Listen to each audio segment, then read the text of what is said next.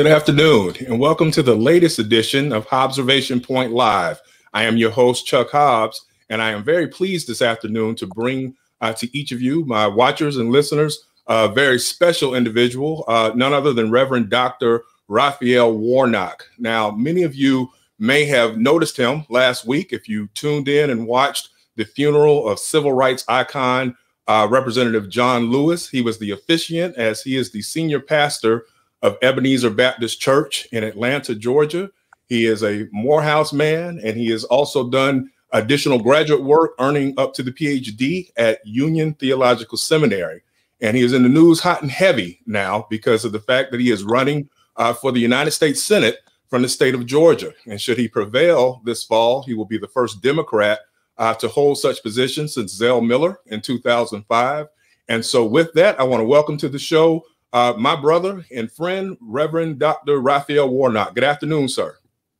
Good afternoon. Great to be here with you. Yes, sir. glad glad to see you, Dr. Warnock. Let me get right to it. Uh, when I woke up this morning, uh, a chuckle uh, crossed my face because I saw that the major headlines was that the WNBA players across the country were wearing "Vote Warnock" shirts. Uh, which I took to be a repudiation of the owner, of, the co-owner of the Atlanta Dream, Kelly Loeffler, who is actually the United States Senator for Georgia, that you will be facing uh, this November. What were your initial reactions when you saw the T-shirts uh, with the support coming from the WNBA players?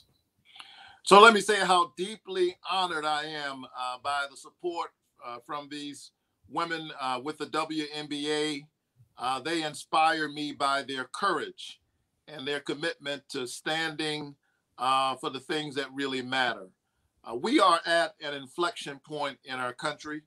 Uh, they, like uh, people all across the country, were shocked and uh, hurt by the video that we witnessed of George Floyd literally being lynched by those sworn to protect in broad daylight. And this is a part of, of course, a long, tragic uh, train of such events in this country for far too long. And so they stood up and they're standing up in a moment like this, uh, saying that Black Lives Matter, uh, centering uh, the ways in which there are certain parts of our community that suffer and that we have to deal with the ongoing challenge around racism in this country. And so they embraced it, decided to use their platform as athletes in ways uh, that are meaningful, uh, to, to center those who, who struggle and who are suffering, to call for justice. And they were literally attacked uh, by Kelly Loeffler, who is the owner or co owner of the Atlanta Dream. Uh, and so they stood up. Uh, they're making clear that while she owns the team, they do not, uh, she, uh, she does not own them. She cannot silence their voices. and when I met with them the other day, I, I was just so impressed by their courage and their willingness to lay it all on the line and and to say in this moment, we can make this country, uh, which is a great country, a far better country. And uh, they have endorsed my campaign. They are part of our movement. And I'm so very proud to stand with them.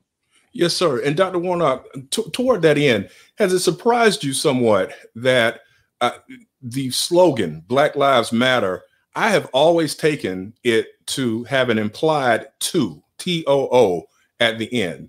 I have never myself or seen anyone else who has considered that slogan to mean that blacks are better than any other race or that blacks black lives should matter more than any other race has it surprised you both as a pastor and as a political figure that there are so many americans who tend to want to pretend as if this is somehow tantamount to a form of black supremacy when that has never been the aim?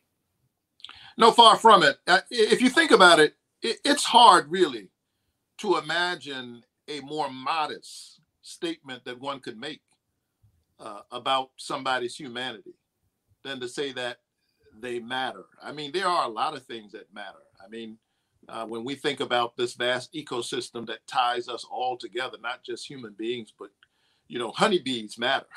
So I, I don't know how that someone says that that saying Black Lives Matter uh, somehow uh, is an expression of of of black supremacy, except that you're unwilling to see the ways in which we're still caught up in this ongoing struggle around racism. Uh, if your house is on fire and you call the fire department, you don't want them to spray every house on the street because all houses matter. Uh, you want them to focus on the one that's on fire. And uh, this is what we've been saying for, for years now. The good news is, I think uh, there's a huge section of this country that sees it, that gets it. There is a multiracial coalition of conscience pouring out into American streets, standing on the right side of history at this critical moment uh, in our country.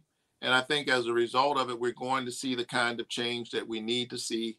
And I'm just so deeply honored to be able to be a part of it, uh, to stand uh, for the things that I've always stood for, and somehow to turn my passion uh, into legislation as a United States Senator from the state of Georgia. And speaking of which, uh, Dr. Warnock, uh, as I alluded to at the beginning, the last Democrat, I believe, to hold such seat in the state of Georgia was uh, Zell Miller. And with respect to Georgia, as is the rest of the solid South, it's pretty much red meat, red states, uh, strongly Republican. With that in mind, uh, a lot of people don't realize that when they see Atlanta, when I tell people that I went to Morehouse College undergrad, I'm like, there's Atlanta and then there's Georgia, so to speak. Right? You have a black Mecca in Atlanta, but outside of Atlanta, you have well, uh, Confederate flags flying up and down I 75 and every other byway and passageway that you could drive through. I, I, How are you going to address that? I hate to break this to you, Chuck, but you went to Morehouse a long time ago, brother. no you doubt. Get, you and I getting old. Listen, Georgia uh, is is is not the Georgia that uh, you remember when you were a student here at Morehouse College. Yes, we sir. are seeing and witnessing in real time uh, uh, the new South emerging. It is bold. It is much more inclusive. It is diverse. It is it is embracing that diversity, and we're seeing it uh, in uh, the electoral results already in this state. We saw historic uh, uh, election turnouts. Um, in 2016.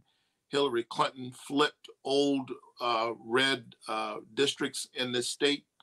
Uh, my friend and our Spelman sister, Stacey Abrams, came in 2018, expanded on that victory. Uh, she came within 54,000 votes of winning out of 4 million votes. She would have been the governor. And that was after a whole lot of cheating on the other side, a whole lot of voter suppression and incompetence, quite frankly. And she came within 54, 55,000 votes of winning about 1.4%. Since then, we've registered 750,000 new voters in this state. 49% of them are people of color. And I only mention that because in the South, sadly, um, race is still uh, the most likely predictor of political uh, uh, affiliation. But we're building a vast multi racial coalition uh, that's going to win this race. Uh, 45% of those 750,000 new voters that have registered since the 2018 race are under 30. And so the South is changing. Georgia is at the tip of the spear. Uh, during the June 9th primary, there was a lot of attention on the tactics of voter suppression in the state, and they are real. We saw the long lines that made national attention, voters standing in line for hours and hours uh, new machines that don't work or, or, that didn't work in some cases, uh, workers who don't know how to operate the, the new machines because those in charge didn't give them the training that they should have gotten. And in spite of all of that, and we're addressing it all, um, we saw record Democratic turnout in this past June 9th primary. More voters turned out than we saw uh, uh, during the 2008 election when uh, Barack Obama was seeking to make history. We had 1.3 million Democratic voters turn out uh, on the June 9th primary. The Republicans had less than a million. Uh, we outperformed them in the sixth congressional district where Lucy McBath uh, is running for reelection in a seat once held by Newt Gingrich when you were in college. Mm-hmm. And we flipped the seventh. Uh, uh, we're, we're getting ready to flip the seventh district and uh, we outperformed them in Fayette County, something we haven't done in a generation. So the South is changing. Georgia's at the tip of the spear. We saw it in the primary. The other side knows that the momentum is with us. The wind is at our back. That's why they're engaged in voter suppression. People who think that the electorate is with them don't engage in voter suppression. But the other side knows that they're in trouble. And so rather than have the voters pick their elected officials, they're trying to rig the system so that the, the folks who want office, high office, are actually picking the voters. It won't prevail. Through vote by mail and other systems, uh, you're going to see a historic win uh, in November. And uh, I will be the next United States Senator from the great state of Georgia.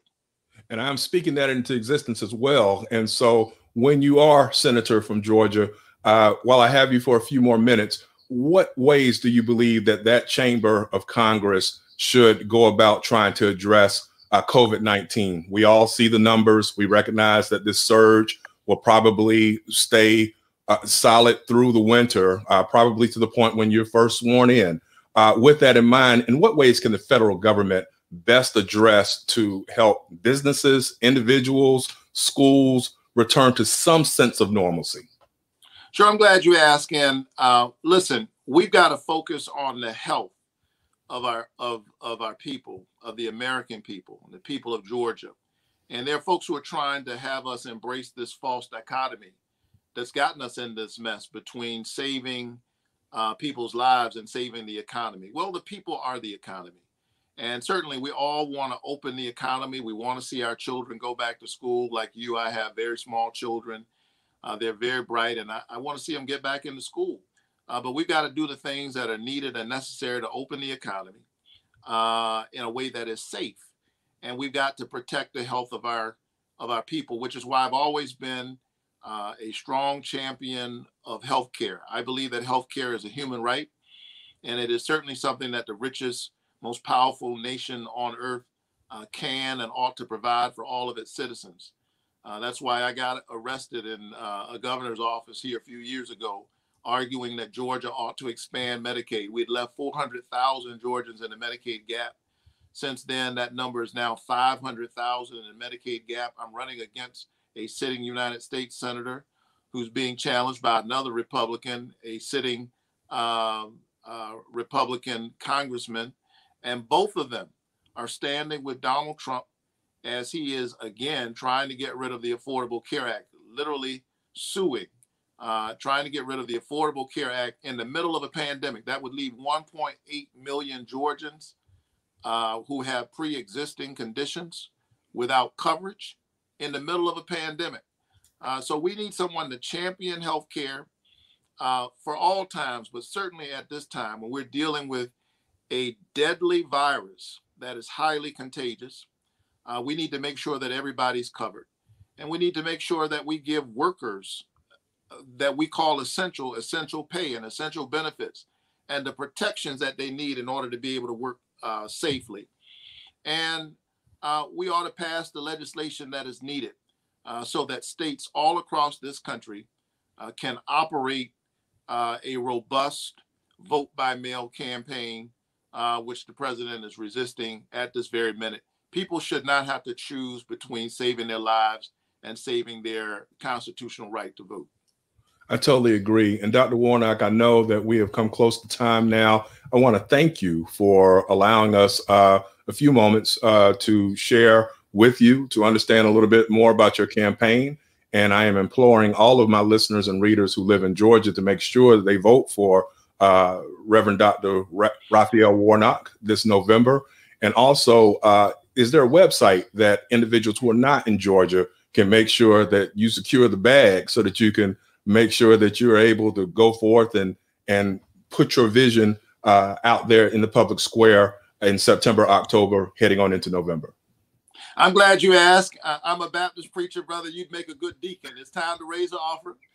Go to warnock4georgia.com. Everything spelled out warnock4georgia.com. Tell your friends, tell your neighbors. Um, the folks, uh, the, the players at the WNBA are excited about our campaign. We've got endorsements all across the state. I'm grateful.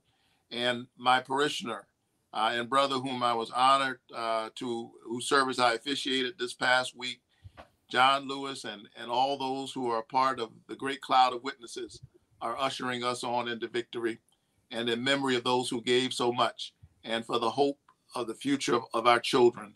Uh, we've got to make this happen, and indeed we will. Amen, brother. God bless you and Godspeed. And I look forward to speaking to you in the future. Thank you. Thank you, sir. And thank you for coming in and paying attention and patronizing Hobbservation Point Live. Have a good day.